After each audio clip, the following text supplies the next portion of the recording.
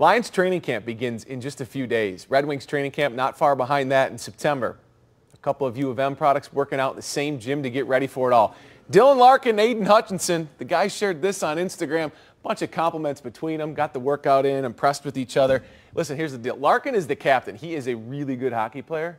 Aidan Hutchinson, does he not make Dylan look like a little kid asking for a photo? With all respect to number 71, Aidan's a big dude. About a foot between them. Wow. Who gets the puck when they go in the corner, you think? I think? think that might be 97, yeah.